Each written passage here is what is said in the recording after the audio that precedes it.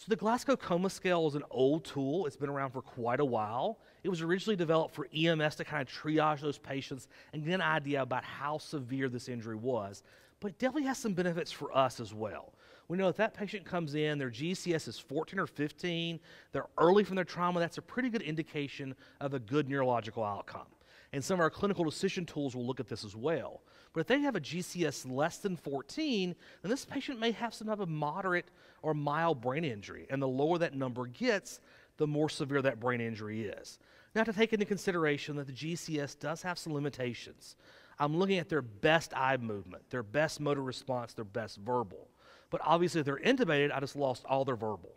Or they have some midface trauma, they have a lot of periorbital edema, I may lose the ability to assess that as well.